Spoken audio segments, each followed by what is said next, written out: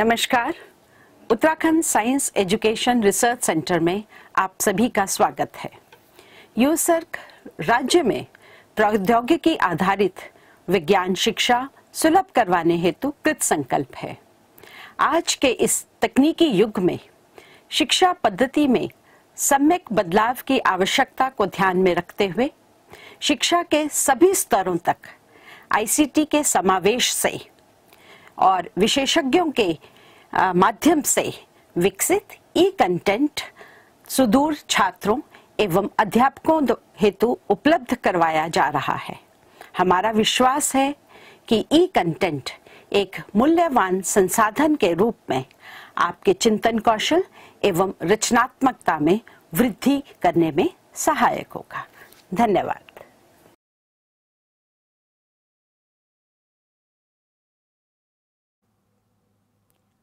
सभी लोगों को मेरा नमस्कार।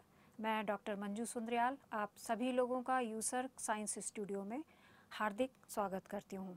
आज हमारे व्याख्यान श्रृंखला की कड़ी में, हमारे मध्य में प्रोफेसर लोकेश गंभीर, जो कि एस यूनिवर्सिटी में आर एन डी शेल और डिपार्टमेंट ऑफ़ बायो टेक्नोलॉजी में डीन के पद पर वहाँ पे हैं। मैं डॉक्टर लोकेश गंभीर जी, आपका हमारे साइंस स्टूडियो में हार्दिक स्वागत करती हूँ। आपका जो स्पेशलाइजेशन है वो बायोटेक्नोलॉजी नैनो बायोटेक्नोलॉजी और माइक्रोलॉजी में है और आपके आउटस्टैंडिंग कंट्रीब्यूशन के लिए आपको कई अवार्ड्स और सम्मानों से आपको सम्मानित किया गया है और आपके काफ़ी अंतर्राष्ट्रीय और राष्ट्रीय जर्नल्स में रिसर्च पेपर्स पब्लिश हैं। और मुझे लगता है आपका जो आज का लेक्चर होगा, हमारे जितने भी स्टूडेंट्स हैं, हमारे श्रोतागण हैं, उनके लिए काफ़ी बेनिफिट्स होगा और उसमें क्या करियर अपॉर्चुनिटीज़ हैं, इससे आपको जानने का मौका मिलेगा। इसके साथ ही मैं आपका यहाँ पर हमारे स्टूडियो में पुनः हार्दिक स्वागत करती नमस्कार, मैं हूँ डॉक्टर लोकेश गंभीर। आज आपके सम्मुख अपना लेक्चर प्रस्तुत करूँगा, जिसमें टॉपिक है बायो इन्फॉर्मेटिक्स अब बायो इन्फॉर्मेटिक्स के बारे में हम इस लेक्चर के अंदर स्क्रैच से लेके एडवांस पार्ट तक हम पूरा डिस्कस करेंगे। बायो इन्फॉर्मेटिक्स क्या है? किस लिए एप्लीकेबल है? बारहवीं से लेके हायर एजुकेशन से लेके पीएचडी तक और उसके उपरांत भी बायो इन्फॉर्मेटिक्स का उपयोग कैसे किया जाता है? बायो इन्फॉर्मेटिक्स ने आज की रिसर्च को, आज की हॉस्पिटल रिसर्च को, आज की सेल बेस्ड रिसर्च को कैसे सिंप्लीफाई किया है? उस सारे पैरामीटर्स को हम एक एक करके देखेंगे। साथ ही साथ उसमें क्या फ्यूचर प्रोस्पेक्ट्स हैं? कैसे हम एक बायोलॉजी फ़ील्ड को लेके बायोइन्फॉर्मेटिक्स में जाके अपना कैरियर कैसे बना सकते हैं, उन सब चीज़ों को आज हम अपने लेक्चर के माध्यम से आपको अवगत कराएँगे। और उम्मीद है कि by the end of this lecture we will be having a complete deliberation and understanding कि हम कैसे परफॉर्म करते हैं ये सब्जेक्ट को। Okay so today will be discussing regarding the bioinformatics अब बायोइन्फॉर्मेटिक्स से मतलब क्या है? बायोइन्फॉर्मेटिक्स का मतलब ये है डेफिनेशंस तो आपने बहुत सारी सुनी होंगी।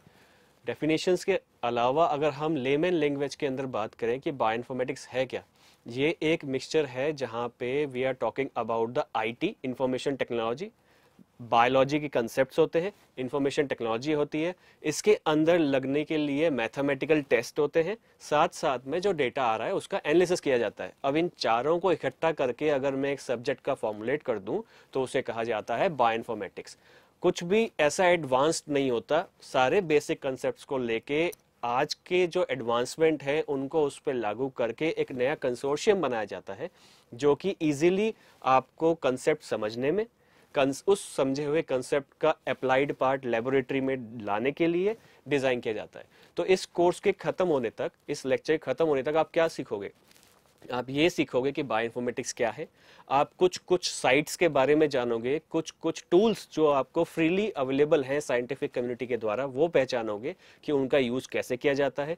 बायोइन्फॉर्मेटिक्स को हम आज की रिसर्च के अंदर आज के जॉब प्रोस्पेक्ट्स के अंदर, चाहे वो गवर्नमेंट जॉब्स हों, चाहे रिसर्च जॉब्स हों, चाहे डायग्नोस्टिक जॉब्स हों, चाहे हॉस्पिटल बेस्ड जॉब्स हों, उसमें हम कैसे लेते हैं?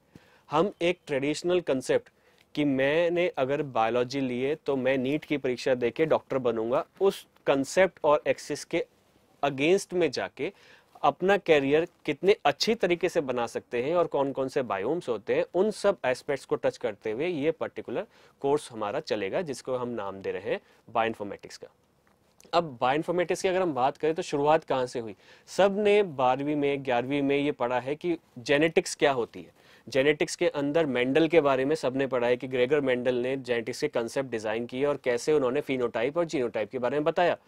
तो उस कंसेप्ट को लेके अगर हम आगे चले तो जब सारे जीनोटाइप बने, जब उन्नीस और उन्नीस में डीएनए की डिस्कवरी हुई, उसके बाद 1980 के दशक के अंदर आके डीएनए का सीक्वेंस पता लगा तो ये ज़रूरत हुई कि अगर मैं कोई काम कर रहा हूँ, अगर मैं कोई डीएनए के ऊपर काम कर रहा हूँ इंडिया के अंदर, और मेरा एक कलीग काम कर रहा है यूएसए के अंदर, और दोनों ही अगर एक ही टॉपिक के ऊपर काम कर रहे हैं तो सारे रिसोर्सेज वेस्ट हो रहे हैं।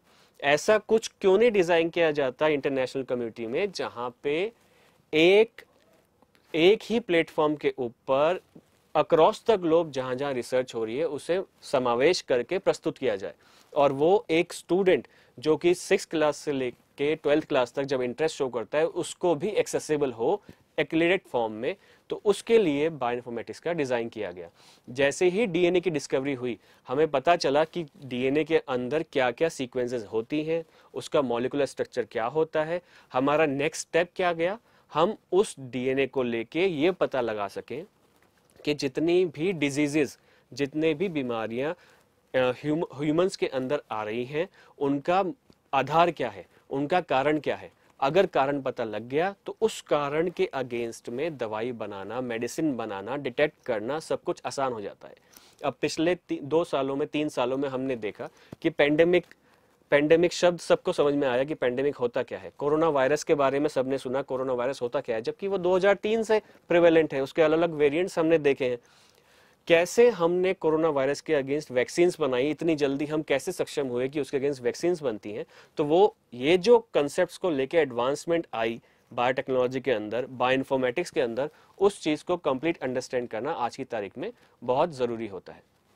अब अगर हम इसकी, इस स्लाइड की बात करें तो उसमें हो क्या रहा है? एक सेल है। सेल के अंदर कंप्लीट एक सीक्वेंस चल रही है। उस डीएनए सीक्वेंस से कुछ प्रोटीन बन रहा है। अब डिज़ीज़ का नाम है सिकल सेल एनीमिया जो सबने स्कूल लेवल पे पढ़ा होता है। तो उसके अंदर एक सिंपल ट्रांजिशन की वजह से, एक सिंपल म्यूटेशन की वजह से ग्लूटामिन एक अमाइनो एसिड अगर दूसरे में चेंज हो जाता है वेलिन में तो कंप्लीट प्रोटीन स्ट्रक्चर ही चेंज हो जाता है। अब जब हम इतने मॉलिकुलर लेवल पे कंसेप्ट को डिस्कस कर सकते हैं तो हम ऐसा क्यों नहीं कर सकते कि इन सारे कंसेप्ट को लेके एक कलेक्टिव प्लेटफॉर्म बनाया जाए, जहाँ पे आईटी का एमलगेशन हो और इन कंसेप्ट के लेके ही हम सारी चीज़ें डिस्कस करना स्टार्ट करें। तो जैसे जैसे एडवांसमेंट चलती गई, हमें ये पता चलता गया कि हमारे अंदर जो डीएनए है, जो जीन्स है, वो कैसे कार्य करते हैं, कैसे उनका डुप्लीकेशन होता है और उन डुप्लीकेशन से जो डेटा निकल के आता है, उन डेटा को हमें कैसे कैरेक्टराइजेशन करना है।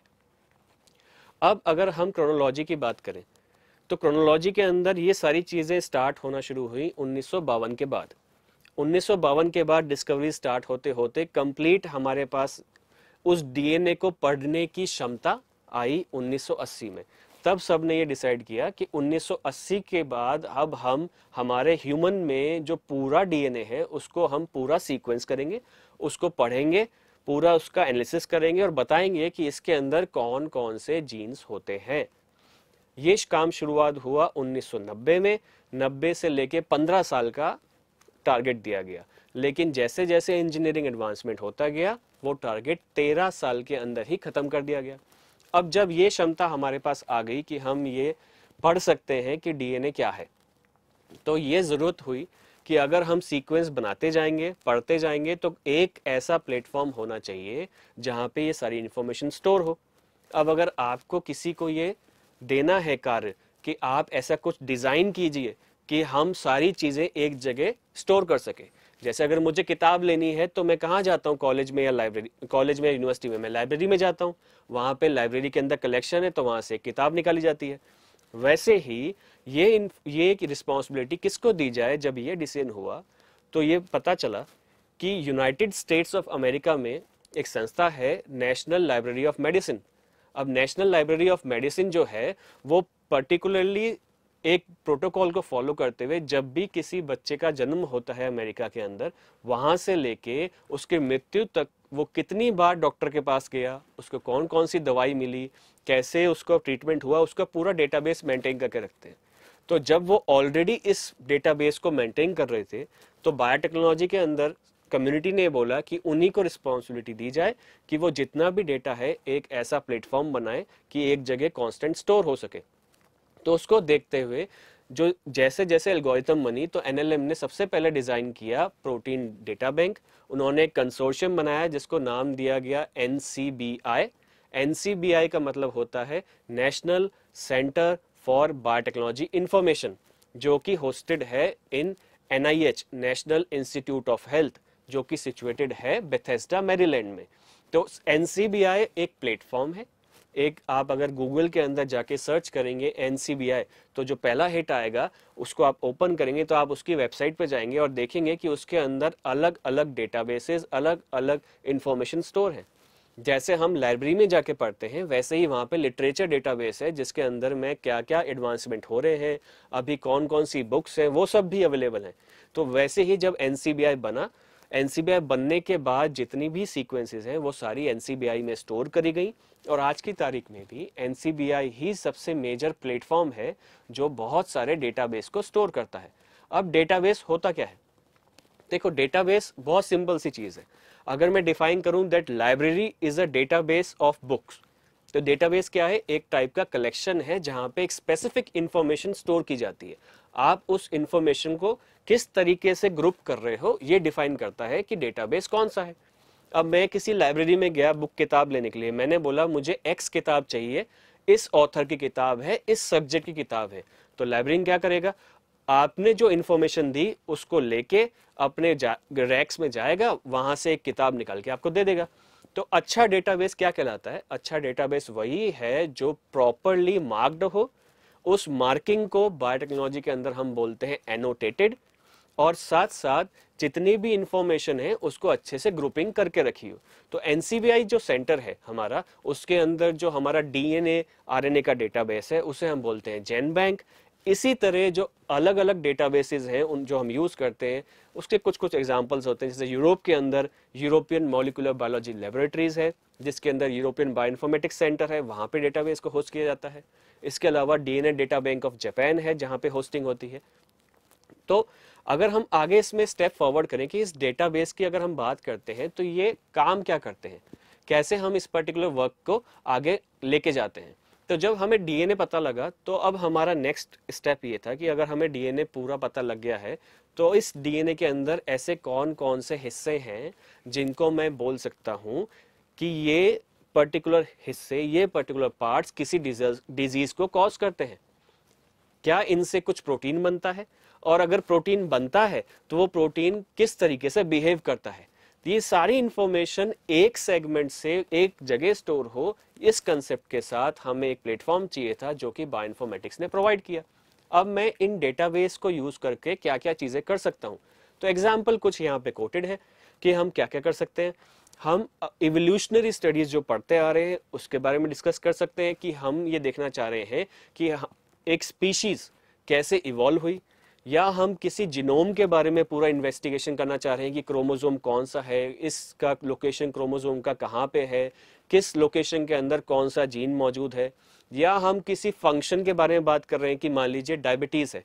मुझे ये देखना है कि डायबिटीज़ के अंदर कौन कौन से जीन्स इन्वॉल्व हैं कौन कौन से प्रोटीन इन्वॉल्व हैं तो मुझे टेस्टिंग नहीं, मुझे डेटाबेस में जाके देखना है कि कौन कौन से प्रोटीन इन्वॉल्व हैं और मैं उनमें से इसको टारगेट कर सकता हूँ। तो इसलिए डेटाबेस बहुत ज़रूरी है। चाहे वो आरएनए का डेटाबेस हो, चाहे सीडीएनए का डेटाबेस हो, हमें एक पर्टिकुलर सीक्वेंस का इंफॉर्मेशन आइडेंटिफिकेशन सब चीज़ें एक ही जगह पे चाहिए, इसलिए हम उस सीक्वेंस डेटाबेस को एक्सेस करते हैं। और उस सीक्वेंस डेटाबेस में हम ये देख ये देख भी सकते हैं कि कैसे इवोल्यूशन के टाइम पे with the period of time कहाँ पे कैसे चेंजेस आए, जिसकी वजह से पर्टिकुलर डिज़ीज़ ऑनसेट हुई। जैसे कैंसर की बात करते हैं, एक नॉर्मल इंसान में कैंसर डेवलप हुआ। क्यों डेवलप हुआ?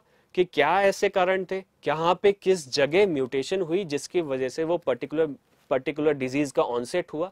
ये सारी इंफॉर्मेशन आज की तारीख में एक पर्टिकुलर डेटाबेसिस में अवेलेबल रहती हैं। हमें जब भी कोई बायोटेक्नोलॉजी के अंदर अपना कैरियर फॉर्म करना होता है तो हम ये देखते हैं कि हम किस पर्टिकुलर मॉलिक्यूल के ऊपर काम कर रहे हैं, हम उस मॉलिक्यूल के बारे में पूरी हिस्ट्री अब तक जितनी भी रिसर्च इन्वेस्टिगेशन हो रखी है, हम उसे सर्च करते हैं and then we go head with our experiments before this bioinformatics क्या होता था? कि मैं हिट एंड ट्रायल मेथड करता था कि मेरे पास अगर कुछ मॉलिक्यूल मुझे ढूंढना है डायबिटीज़ के अंदर या कैंसर के अंदर तो मैं एन नंबर ऑफ़ टेस्ट लगाऊँगा, तब जाके मुझे कोई रिज़ल्ट मिलेगा। अभी मुझे सारे रिजल्ट्स एक जगह पता है तो मैं उनकी स्क्रीनिंग वर्चुअली करता हूँ। और फिर लिमिटेड टेस्ट लगाते हैं, जिसकी वजह से हमें आगे जाके हेल्प मिलती है। ठीक है? अब इसके अंदर जो हम बात करते हैं कि जो सीक्वेंस प्रेजेंट है डीएनए की, वो एक्चुअली है क्या? डीएनए एक जेनोमिक कंटेंट की फॉर्म में बात करते हैं हम तो आपको डेटाबेस के अंदर मिलता क्या है? आपको उसकी पूरी सीक्वेंस मिलती है। वो किस तरीके से स्ट्रक्चर में फोल्ड होता है, वो मिलता है।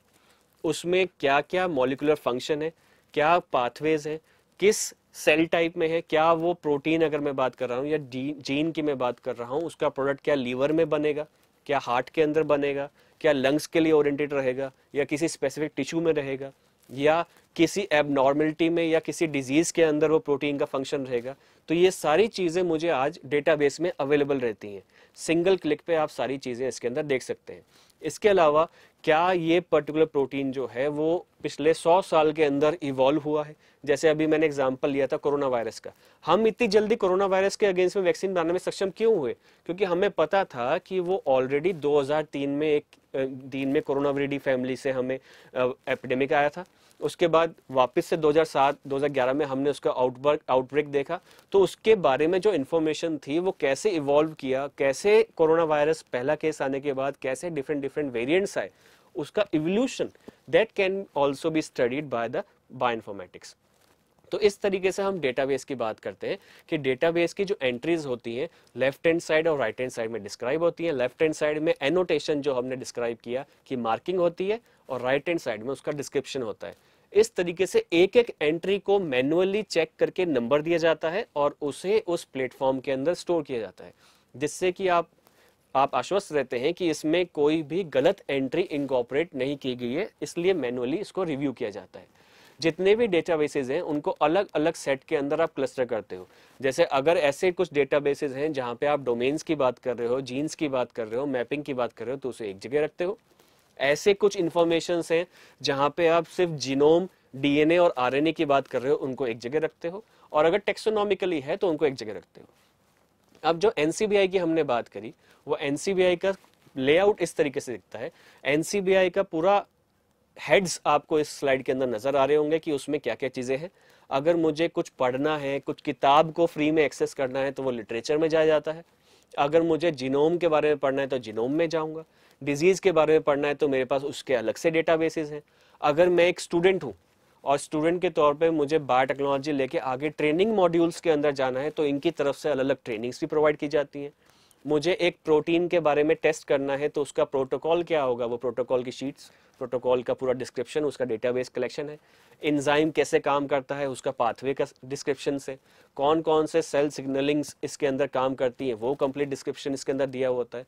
तो पूरी कंसोर्शियम का कलेक्शन आपको एक साइट के अंदर मिलता है that is called as National Center for Biotechnology Information which is hosted in US अब एनसीबीआई का जो मिशन बना, जब एनसीआई को बनाया गया तो उनको ये डायरेक्शन मिले कि आपको इसके अंदर क्या क्या काम करना है। तो जो इनका प्राइमरी काम है, जो इनका मेन काम है, वो यही है कि जितने भी एस्पिरेंट्स हैं, जितने स्टूडेंट्स हैं, चाहे वो ग्रेजुएशन लेवल पे हों, चाहे पोस्ट ग्रेजुएशन हो, चाहे डॉक्टरल हो, उनको वर्कशॉप्स मीटिंग्स लिटरेचर इन सब में इंफॉर्मेशन प्रोवाइड करके उनका स्किल लेवल इम्प्रूव करना ताकि बायोटेक्नोलॉजी की जो रिसर्च है वो अच्छे तरीके से एथिकली गवर्न की जा सके। दूसरा सबसे महत्वपूर्ण इनका एम ये है कि जो इन्फॉर्मेशन है उस info, वो इन्फॉर्मेशन हर जगह एक्सेसिबल हो जिसकी वजह से अगर कहीं एक काम हो रहा है तो वो दू, दूसरे कॉर्नर में रिपीट ना हो रिसोर्सेज वेस्ट ना हो। जब इंफॉर्मेशन एक ही आनी है तो रिसोर्सेज भी कंजर्व किए जाए। तो इस फिनोमिना को कि अगर मैंने सीक्वेंस मैं अगर कुछ काम कर रहा हूँ इंडिया के अंदर। मैंने अपने रिजल्ट्स निकाले और रिजल्ट्स को मैंने एक जगह जाके स्टोर कर दिया डेटाबेस में। अब वो रिज़ल्ट अगर यूएस में एक्सेसिबल नहीं है किसी के पास तो हो सकता है वो भी उसे रेप्लिकेट करे।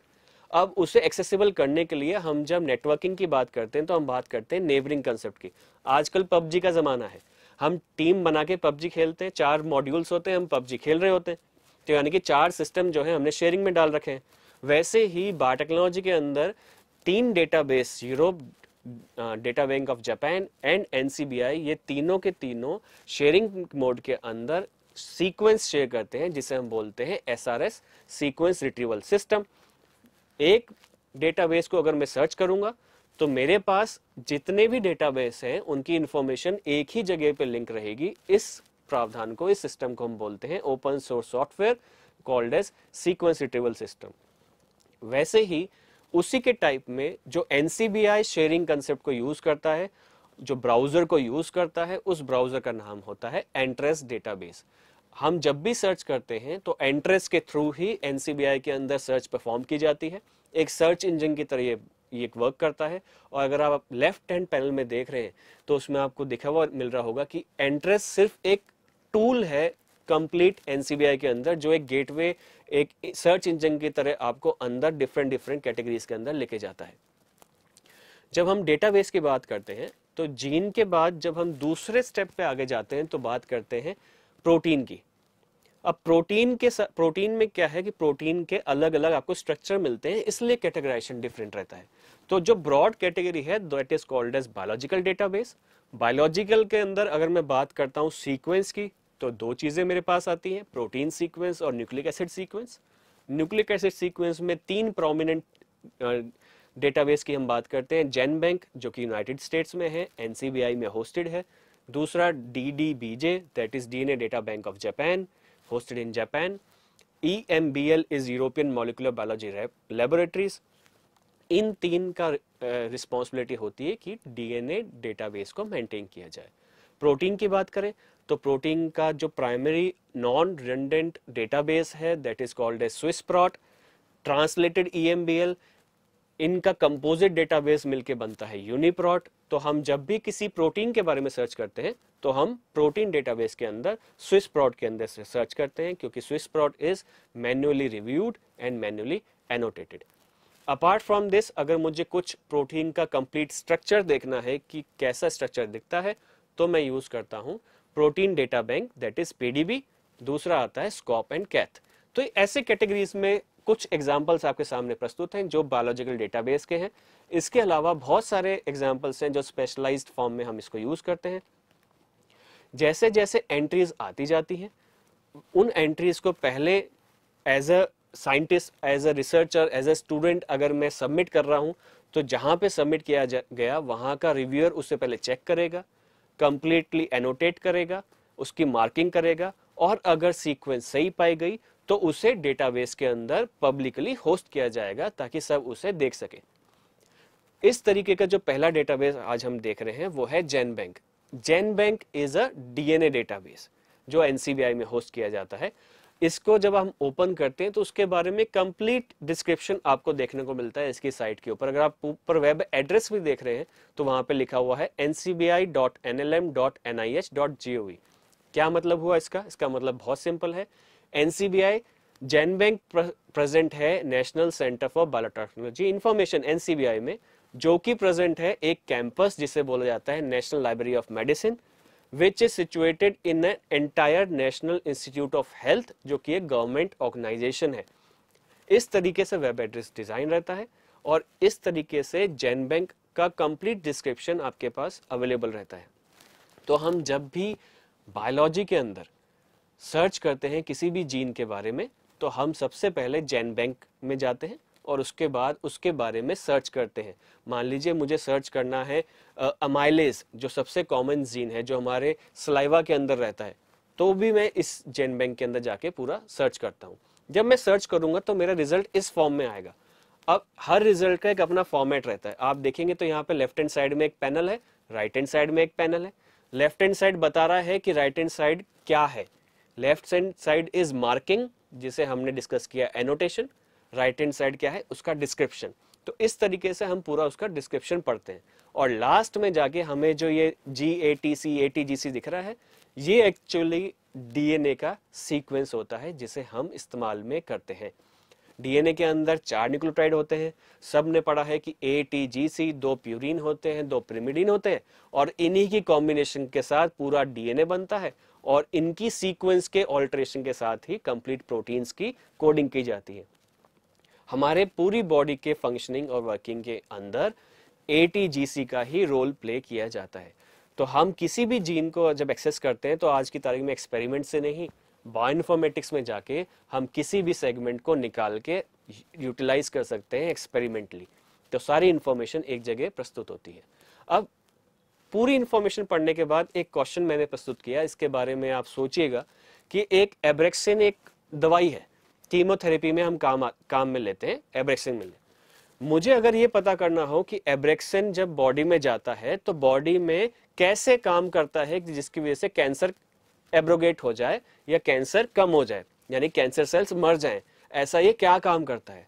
तो मैं क्या करूँगा? अगर मैं ट्रेडिशनल साइंस फॉलो करूँ तो मैं जाऊँगा एब्रेक्सिन लूँगा, मैं सेल्स निकालूँगा सेल के ऊपर टेस्ट करूँगा, बहुत सारे एक्सपेरिमेंट लगाऊँगा। अगर हज़ार हज़ार टारगेट है तो मुझे हज़ार एक्सपेरिमेंट लगाने पड़ेंगे, तब जाके मुझे कोई एक मिलेगा। लेकिन बायोइन्फॉर्मेटिक्स की वजह से हम ऐसा नहीं करते। हम क्या करते हैं, हम उस पर्टिकुलर टारगेट का स्ट्रक्चर निकाल लेते हैं और कंप्यूटर के अंदर सिमुलेशन करके उस पर्टिकुलर एब्रेक्सिन दवाई को उस टारगेट से मैच करते हैं। तो हज़ार की मैचिंग करने में मुझे अगर तीन दिन लगे, उसमें से मैंने सेलेक्ट कर लिया सौ को और उन सौ के साथ मैं एक्सपेरिमेंट लगाऊँगा मेरी लैब के अंदर। तो मेरे जो हज़ार एक्सपेरिमेंट दो साल में खत्म होने थे, वो सौ एक्सपेरिमेंट छह महीने में खत्म होके जल्दी से जल्दी मैं ये पता लगा पाऊँगा कि ये दवाई कैसे काम करती है। और यही कारण है कि आज के आज के दौर के अंदर हम एक दवाई की टेस्टिंग कि वो कैसे मैकेनिज्म फाइंड आउट करते हैं, हम बहुत जल्दी कर सकते हैं। उसी का ही एक एग्ज़ाम्पल है ईबीआई यूरोपियन बायोइन्फॉर्मेटिक्स इंस्टीट्यूट जो कि ईएमबीएल के अंदर होस्टेड है और सबसे अच्छा सेंटर माना जाता है for for complete bioinformatics studies in fact EMBL European molecular biology laboratories जो हिडलबर्ग जर्मनी के अंदर है, ये one of the premier institutes हैं अगर बायोलॉजी के अंदर हमें हाई एंड रिसर्च और बहुत ही एक अच्छा ल्यूक्रेटिव करियर बनाना है with a very handsome package this is one of the major centres और आपको जान के बहुत खुशी होगी कि वहाँ पे बहुत से इंडियन स्टूडेंट्स ही यहाँ से ट्रांजिशन लेके वहाँ जाते हैं। पीरियोडिकली इनकी ट्रेनिंग एंड अपॉर्चुनिटीज़ ओपन होती है where everybody can apply with the holding of masters degree and can go head for the training and for the training sessions then protein एक जीन की बात करी। अगर हम प्रोटीन की बात करें तो यूनिप्रॉट यूनिप्रॉट सबसे अच्छा डेटाबेस है प्रोटीन इन्फॉर्मेशन के लिए। मुझे किसी भी इंजाइम के बारे में पढ़ना है, मुझे किसी भी प्रोटीन के बारे में पढ़ना है, मुझे किसी भी रिसेप्टर के बारे में पढ़ना है, किसी भी हार्मोन के प्रोटीनेशियस हार्मोन के बारे में पढ़ना है तो मैं कंप्लीट रिलाई करता हूँ on Swiss Prot Swiss Prot पर रिलाई क्यों करते हैं? सिर्फ़ रेड वालों को देखिए मैनुअली एनोटेटेड ऑटोमेटिकली एनोटेटेड जब तक मैन्युअली चेक करके, रिव्यू करके सीक्वेंस नहीं आई, तब तक वो स्विस प्रॉट में प्रेजेंट नहीं है। अगर कोई भी इंफॉर्मेशन स्विस प्रॉट में प्रेजेंट है तो मतलब वो वेरीफाइड है। स्विस प्रॉट प्रॉट मतलब प्रोटीन, स्विस मतलब स्विट्जरलैंड। स्विट्जरलैंड के अंदर European bioinformatics institute present है, इसलिए उस पर्टिकुलर डेटाबेस को टैग दिया गया एज स्विस प्रॉट। इस तरीके से कुछ इसकी विंडो आपको दिखेगी। जब भी आप कुछ सेलेक्ट करेंगे, किसी भी जीन को सेलेक्ट करेंगे, पूरा पैनल खुलेगा। जहाँ पे रेड सर्कल है, वहाँ पे एंट्री है, आप उस एंट्री को ओपन करेंगे तो कंप्लीट इस टाइप का आपको पेज मिलेगा। लेफ़्ट साइड में हमेशा एनोटेशन होती हैं राइट साइड में डिस्क्रिप्शन होता है कि प्रोटीन कैसे काम कर रहा है। देखिए लास्ट में आपको प्रोटीन उस प्रोटीन की सीक्वेंस मिल रही है। L for leucine V for valine Y Y for tyrosine D for glutamic acid Henceforth ये पूरी सीक्वेंस आपको मिल जाती है और उसके अंदर जितना भी कार्य अब तक किया गया है, जितने भी पेपर्स प्रेजेंट हैं, जितना भी लिटरेचर है, उन सब की लिंकेजेस आपको यहाँ पे प्रोवाइड की जाती है।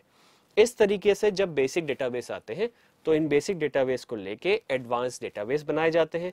जब आप बायोटेक्नोलॉजी को एज अ सब्जेक्ट ऑप्ट करते हो तो उसके अंदर एक कंपोनेंट आता है बायोइन्फॉर्मेटिक्स का, जहाँ पे आपको इनकी सबकी पूरी जानकारी प्रोवाइड करी जाती है।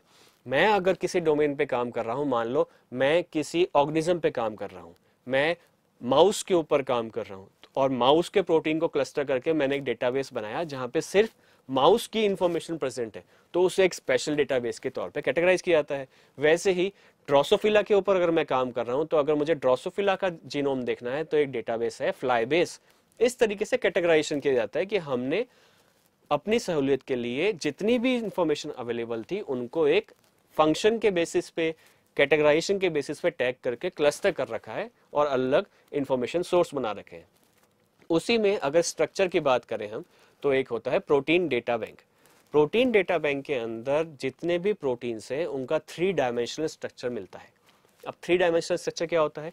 एक प्रोटीन सेल के अंदर बनने के बाद कैसे फोल्ड होके अपनी शेप लेता है, उसे हम बोलते हैं थ्री डायमेंशनल स्ट्रक्चर तो बार बार मुझे स्ट्रक्चर के लिए प्रोटीन को आइसोलेट करने की नीड नहीं होती।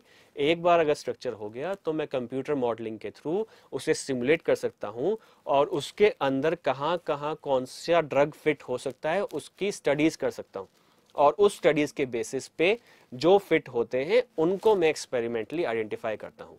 So what exactly do we do in bioinformatics इस इंफॉर्मेशन के साथ हम एक्चुअली करते क्या है बायोइन्फॉर्मेटिक्स में? देखिए, ये चार्ट बना के रखा है। बहुत सिंपल चार्ट है कि जब मुझे सारी चीज़ें पता लग गई कि कौन सी सोर्सेज कहाँ पे तो अब मैं करूँ क्या उस उस इंफॉर्मेशन का? बहुत सी सिंपल चीज़ हम करते हैं। हम कंप्लीट डीएनए एक सेल से निकालते हैं। उस डीएनए को एक सेल के अंदर जो पूरा डीएनए है, वो पूरी इंफॉर्मेशन कोड करता है उस पर्टिकुलर ऑर्गेनिज्म के लिए। हम उसको छोटे छोटे टुकड़ों में तोड़ते हैं। वो टुकड़े जो टूटे उनको एक ऑर्गेनाइज सेक्शन के अंदर हम लीनियराइज करते हैं कि रैंडमली तोड़ने के बाद उन्हें एक स्ट्रेट लीनियर सीक्वेंस के बेसिस पे किया जाए। फिर हर टुकड़े को फर्दर छोटे छोटे टुकड़ों में जो कि मैनेज कर सके हम हमारी लैब के अंदर उससे तोड़ते हैं। उन्हें हम कहते हैं शॉर्टगन क्लोन्स और उन शॉर्टगन क्लोन्स को हम रीड करते हैं बाय साइंटिफिक टेक्निक्स रीड करने का मतलब रीडिंग में आपको चार के चार बेसिस जो है वही मिलेंगे बट उनकी सीक्वेंस डिफरेंट होगी। अब जब हमारे पास उन छोटे टुकड़ों की शॉटगन क्लोन्स की, जब हमारे पास सीक्वेंस आ गई, अब हम उस डेटा को एनालाइज करते हैं और उनको एक लीनराइज सीक्वेंस के अंदर लगाते हैं। तो यानी कि जो ऊपर का जीनोमिक डीएनए है, वो हमने पूरा पढ़ लिया असेंबली तक आते आते और इन सब स्टेजेस के अंदर डिफरेंट डिफरेंट टेक्निक्स इन्वॉल्व होती हैं, जो कि बायोटेक्नोलॉजी की बेस रहते हैं। और यही काम होता है हमारा बायोइन्फॉर्मेटिक्स का कि जो डेटा आया है उसे कैसे हम एनालाइज कर सकते हैं और उस कैसे एनालाइज करने के बाद उसे कैसे क्लस्टर कर सकते हैं, यही मेजर वर्क किया जाता है हमारे बायोइन्फॉर्मेटिक्स में। अब ये इमेज एक पिक्टोरियल इमेज है जो आपको बता रही है कि जैसे टुकड़े आते हैं तो उन कंप्लीट टुकड़ों को जब हम लीनराइज कर देते हैं तो कैसे इंफॉर्मेशन अवेलेबल होती है। तो जैसे हम गूगल में सर्च करते हैं गूगल इज़ अ ब्राउज़र तो उसमें आप कुछ भी इंफॉर्मेशन सर्च कर सकते हो, वैसे ही अगर मुझे डीएनए जिनोम बायोटेक इनके बारे में कुछ अगर सर्च करना है तो मैं जिनोम ब्राउज़र यूज़ करता हूँ, उस जिनोम ब्राउज़र में जस्ट रिप्रेजेंटेशन की कैसे इन्फॉर्मेशन आती है। अब ये पूरी इन्फॉर्मेशन जितने भी आपको ब्लैक स्पॉट्स दिख रहे हैं, हर एक ब्लैक स्पॉट एक इन्फॉर्मेशन कोड करता है। आप ऊपर वाली लाइन अगर देखेंगे पोजीशन सर्च के नीचे जहाँ पे हाईलाइटेड है, वो है आपके अंदर जो क्रोमोसोम है, उसका सातवें नंबर का क्रोमोसोम और उसके सिर्फ़ एक पॉकेट में जितनी इंफॉर्मेशन स्टोर्ड है, छोटे से पॉकेट में जो इंफॉर्मेशन स्टोर्ड है, वो यहाँ पे इंफॉर्मेशन के फॉर्म में रिप्रेजेंटेशन के फॉर्म में अवेलेबल है। वैसे ही कंप्लीट इवोल्यूशन कैसे चलता है? यहाँ पे एग्जांपल लिया है हमने इन्फ्लुएंजा वायरस का क्योंकि हम कोरोना वायरस के बारे में बहुत पिछले तीन साल से जान चुके हैं। तो हम यहाँ पे इन्फ्लुएंजा वायरस के बारे में बात कर रहे हैं जो एपिडेमिक के तौर पे आउटब्रेक के तौर पे देखा गया 2009 में भी। और सब्सिक्वेंटली 1979, 19, इवन 1976, 79, 98, 2001, 2009 इनमें कंप्लीट आउटब्रेक देखा। तो आज की तारीख में अगर कोई आउटब्रेक होता है तो मेरे पास पूरी चार, चालीस साल की हिस्ट्री अवेलेबल है कि पहले ये मॉलिक्यूल कैसा था, विद टाइम इसमें कैसे म्यूटेशन हुई और कैसे अब ये मॉलिक्यूल आया। तो जो भी चीज़ कांस्टेंट होगी, मैं उसे टारगेट करके अपना एक ड्रग उसके अगेंस्ट डिज़ाइन कर सकता हूँ। तो मुझे जितने भी म्यूटेशनल एनालिसिस हैं, जितने भी नए ऑर्गेनिजम्स आते हैं ड्यू टू म्यूटेशंस, उन सब के बारे में इवोल्यूशनरी रिलेशनशिप भी कवर कर सकते हैं by with the help of bioinformatics और उतना ही नहीं, हमारे अंदर कैसे फ़ंक्शंस फिनोटाइप रेगुलेट होते हैं, वो भी हम गवर्न कर सकते हैं। कैसे हम एक पर्टिकुलर दवाई को रिस्पॉन्स देते हैं। हर एक बॉडी का, हर एक इंडिविजुअल का अपना एक रिस्पॉन्स आता है एक पर्टिकुलर ड्रग के अंदर। तो वो रिस्पॉन्स कैसे गवर्न होता है? कैसे कुछ इंडिविजुअल्स के अंदर एजिंग बहुत जल्दी हो जाती है? कैसे कुछ इंडिविजुअल्स के अंदर एजिंग डिलेड रहती है? कैसे किसी को, किसी इन्वायरमेंट के अंदर एलर्जी हो जाती है? कैसे अगर आपने कुछ वैक्सीनेशन लगाया तो उसके अंदर एलर्जिक रिस्पॉन्स आते हैं? ये सारी चीज़ें, कैसे हमारे सेल के अंदर गवर्न होती हैं, वो सारी चीज़ आपको इस particular information centre of bioinformatics के अंदर कंप्लीटली मिलती हैं, जो कि regularly every day, every time, whenever there is an information which is released, is duly updated on these websites and on these databases. अब जब हम बात कर रहे थे प्रोटीन की तो कुछ प्रोटीन का जो स्ट्रक्चर एक्चुअली दिखता है, वो इस तरीके से दिखता है कंप्यूटर के अंदर। हम उस स्ट्रक्चर का पूरा सिमुलेशन करते हैं। ग्रीन कलर में और रेड कलर में दोनों ही प्रोटीन है। हम ये पता लगा सकते हैं कि क्या हमारे सेल के अंदर ये दोनों प्रोटीन एक साथ मिलके कुछ काम करेंगे। इसके लिए मुझे एक्सपेरिमेंटल एविडेंस डायरेक्टली जाने की ज़रूरत नहीं है। मैं अपने सिमुलेशन में ही पता लगा सकता हूँ कि whether these two protein gonna dock together क्या वो दोनों मिलके काम करेंगे। ज्वाइन करेंगे, कितनी प्रोबेबिलिटी है कि ये दोनों एक दूसरे के साथ मिल जाएँगे, कितनी प्रोबेबिलिटी है कि क्या ऐसे कोई दवाई है जो हो सकता है ये डिज़ीज़ कॉजिंग प्रोटीन हो और इसके बीच में रोक सके। तो ये सब स्टडीज़ हम बायोइन्फॉर्मेटिक्स के थ्रू परफॉर्म करते हैं, चाहे वो हमारा म्यूटेशन एनालिसिस हो, चाहे क्रोमोजोम एनालिसिस हो, चाहे क्रोमोजोम मैपिंग हो। इसके अलावा जो और इंफॉर्मेशंस आती हैं, जो आपके कैरियर से परवे करती हैं, वो होती हैं। जैसे कि मेरे पास कई बार ऐसे क्वेश्चंस आते हैं कि मैंने ट्वेल्थ बायोलॉजी की है। मुझे बायोटेक में जाना है, मुझे बायोलॉजी में जाना है, मुझे माइक्रोबायोलॉजी में जाना है, पर मुझे ये समझ नहीं आ रहा कि मैं किस यूनिवर्सिटी में जाऊँ, मैं किस करियर को ऑप्ट करूँ। तो उसके लिए कैसे आगे काम किया जाए? बहुत सिंपल सी बात है। आपके पास गूगल है गूगल स्कॉलर है, उसमें आप सर्च कीजिए। उसमें अगर मान लीजिए मैंने सर्च किया एक्स वाई जेड यूनिवर्सिटी तो मुझे उस यूनिवर्सिटी में जो काम किया जा रहा है, उसकी कंप्लीट साइंटिफिक क्रेडेंशियल की डिटेल मुझे मिल जाती है। मुझे कोई किताब पढ़नी है, वो किताब भी मुझे पूरी फ्रीली अवेलेबल हो जाती है। तो इस तरीके से जितने भी प्री प्रिंट्स हैं, जितने भी एकेडमिक पब्लिशर्स हैं या यूनिवर्सिटीज़ हैं, उनके द्वारा जो रिसर्च की जा रही है, उनके द्वारा जो स्टूडेंट्स को आगे प्रमोट करने के लिए एकेडमिक uh, क्रेडेंशियल्स हैं वो सब वहाँ पे लिस्टेड होते हैं और हम सब उसको देख के डिसाइड कर सकते हैं कि कौन सा डोमेन मेरे इंटरेस्ट के हिसाब से ठीक रहेगा कौन सा डोमेन मेरे चॉइस के हिसाब से आगे जाना चाहिए यूनिवर्सिटी कौन सी मुझे ऑप्ट करनी चाहिए। तो सर्च जब आप करते हैं तो सर्च करने के बाद ऐसा पैनल आता है। मैंने एक्स को सर्च किया, मेरे पास ऐसी लिस्टिंग आ गई। तो मैं ये देख सकता हूँ कि एक्स वाई जेड यूनिवर्सिटी के अंदर कितने पब्लिकेशन है, कितने लोग उनको साइट कर रहे हैं, क्या रेलिवेंट रिसर्च चल रही है। तो मेरे लिए वहाँ जाना ज़्यादा अच्छा है, जहाँ पर रेलिवेंट रिसर्च चल रही है तो मुझे एक्सपोजर ज़्यादा मिलेगा। ठीक है? क्या क्या और चीज़ें मैं इससे रिट्रीव कर सकता हूँ? मैं ये भी देख सकता हूँ कि उस यूनिवर्सिटी के कितने कोलेब्रेशन है, उस रिसर्चर के कितने कोलेब्रेशन है, कितने लोग उसको देख के पढ़ रहे हैं। और इतना ही नहीं मैं ये भी देख सकता हूँ कि उस पर्टिकुलर टॉपिक को, अगर मैं ऑप्ट करना चाहता हूँ किसी पर्टिकुलर डोमेन को तो उसको कितनी बार सर्च किया गया है? कितने साइटेशंस हैं? क्या एच इंडेक्स है? तो वो कंप्लीट चीज़ें मुझे इसके अंदर इंफॉर्मेशन के फॉर्म में मिलती हैं। क्या मैं कोई बुक ले सकता हूँ? क्या ये बुक्स अवेलेबल हैं जो डोमेन में चूज़ कर रहा हूँ? मान लीजिए, मैं बायोलॉजी के बाद में बायोटेक्नोलॉजी यूज़ कर रहा हूँ। मैं इतना फाइनेंशियली सक्षम नहीं हूँ कि मैं पंद्रह पंद्रह हज़ार की किताबें लेके पढ़ूँ। तो क्या ऐसा मुमकिन है कि ऑनलाइन अवेलेबल है वो फ्रीली तो yes you can search it on on Google search you can search in different different databases बहुत सी बहुत सी नहीं in fact 90 percent in the above books are freely available जो कि पढ़ाई जाती हैं। तो इन सबको सर्च करके यू कैन कम अक्रॉस कि कौन सी फ्रीली अवेलेबल है, कौन सा डोमेन मैं चूज़ करूँ। और बायोइन्फॉर्मेटिक्स के अंदर plethora of books plethora of literature is available आपको बस ये डिसाइड करना होता है कि आपके पास doctor traditional by practice M B B S M D इनके अलावा भी एक लाइन है।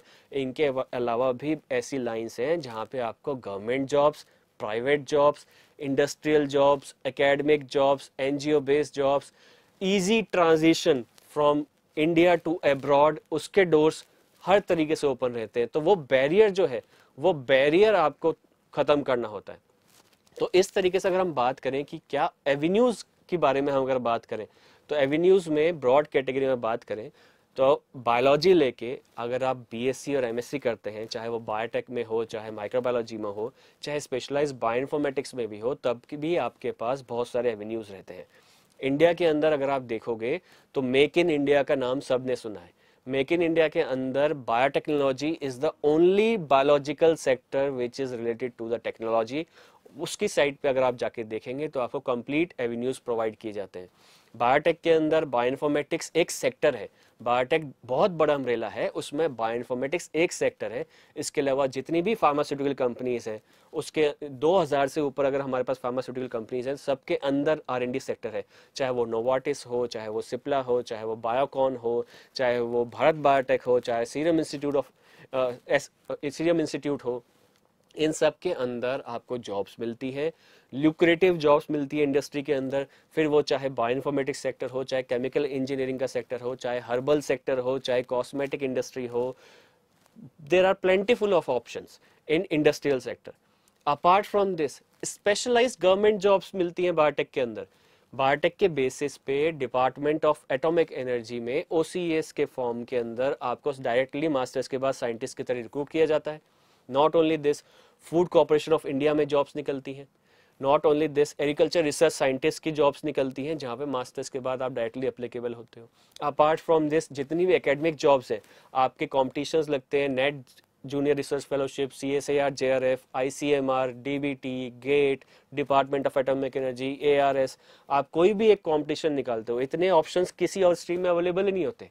आप अगर कोई सा भी एक कॉम्पिटिशन निकालते हो then government pays you follow fellowship for higher studies not only this जितने भी C S I R institutes हैं आईसर्स हैं नाइपर्स हैं आई टीज हैं सेंट्रल यूनिवर्सिटीज़ हैं, वो रेगुलरली अपने प्रोजेक्ट्स के अंदर J R F and S R F की पोस्ट निकालती हैं you are applicable in that also so it depends upon your choice your zeal your dedication to pursue a career ऐसा नहीं है कि सिर्फ़ बायोलॉजी का मतलब है कि हमें M B B S doctor M D doctor ही बनना है।